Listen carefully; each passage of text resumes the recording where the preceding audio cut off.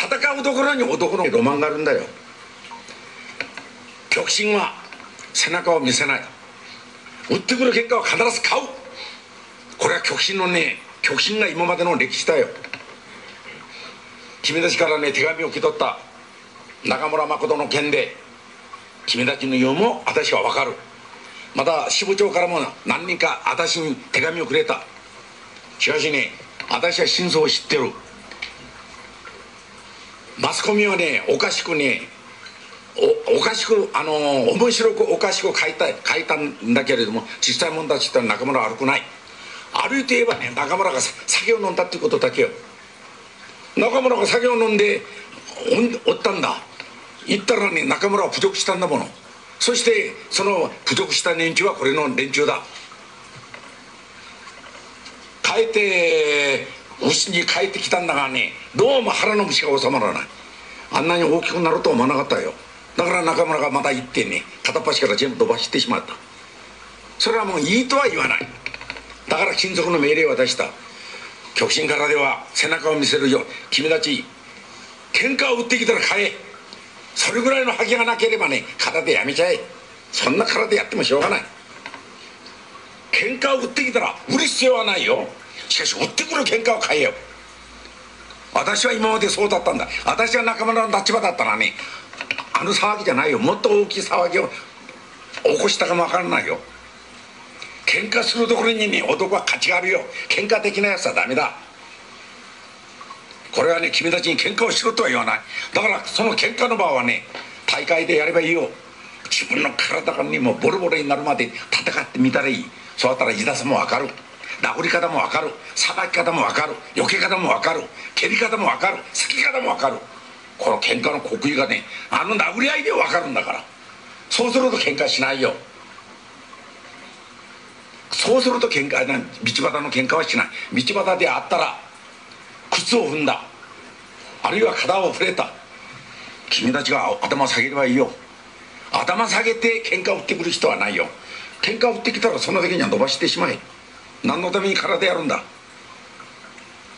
その時には伸ばしてしまえ。戦うところに男のさっきも言ったようにロマンがあるんだよ。支部長がこういう手紙が来てる。中村のために今まで喧嘩空手って言ってそのおめえがなくなってしまったんだが今度はね中村がああいうことをやったがためにね同情生が減りましたと。どうしてくれますかと。バカ野郎。そういう道場だったら閉めてしまえ。予想通りこの決勝に勝ち残りました。ゼッケン64番山崎照友2段。この山崎照友2段は第1回のこのオープントーナメントに引き続きまして2度目の優勝を狙います。一方のゼッケン8番牢山初夫三段はキャリア10年初優勝をかけましてこの後の決勝に臨みます。この注目する決勝戦の主審は大山茂六段。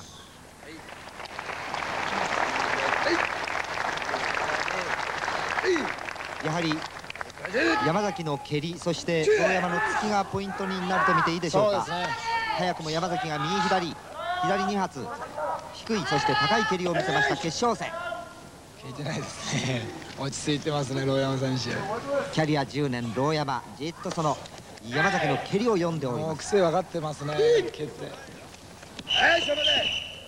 山崎が勝てば2度目の優勝牢山が勝てば初優勝今のいい前蹴り入りましたね、牢山選手。インサイドに決まります。低い牢山の蹴りであります。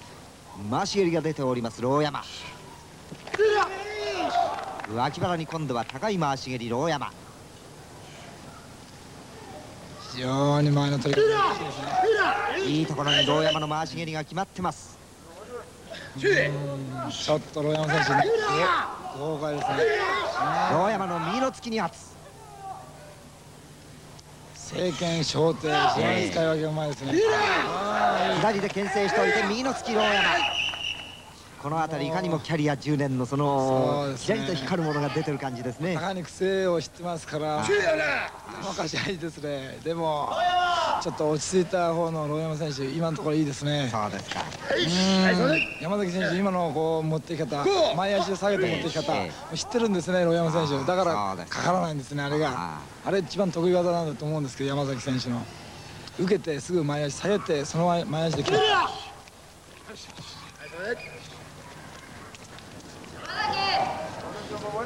ついてますね米山選手。立派な立派ですねああいう試合に持ってき方は。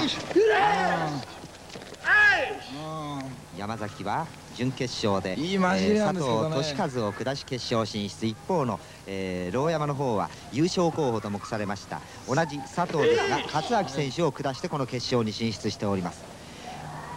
残り1分となりました。3分間で争われておりますこの決勝戦すでに2分を回っております。あって右の突き鋭く決まりました。牢山です。もう一発。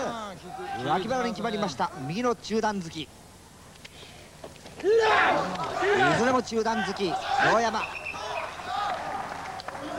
もう山崎選手の前足の回し蹴りが入るのが分かってるんですね。ですからもう常に右手が上がってますね。そうですか。角度のいい蹴りなんですけども受けが非常にうまいですね。残り2分を回った、残り1分となったところで、えー、牢山のあの再三の右の突きがポイントになってるでしょう。